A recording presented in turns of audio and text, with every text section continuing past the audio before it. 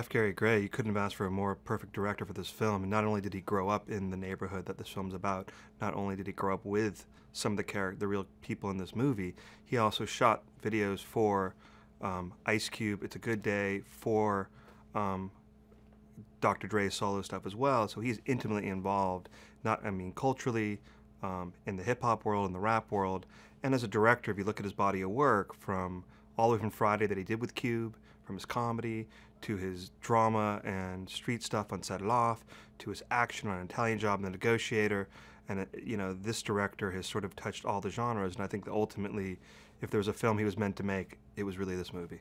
It's not only a story about people; it's also a story about where he's from.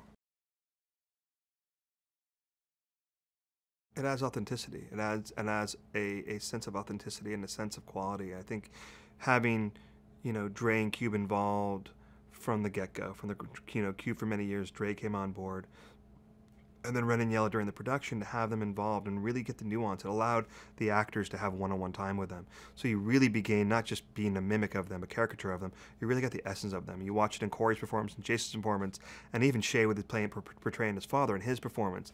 And then you see Yella, the real Yella, and Neil, and you sort of got the comedy because Yella's such a lovely, you know, bubbly character.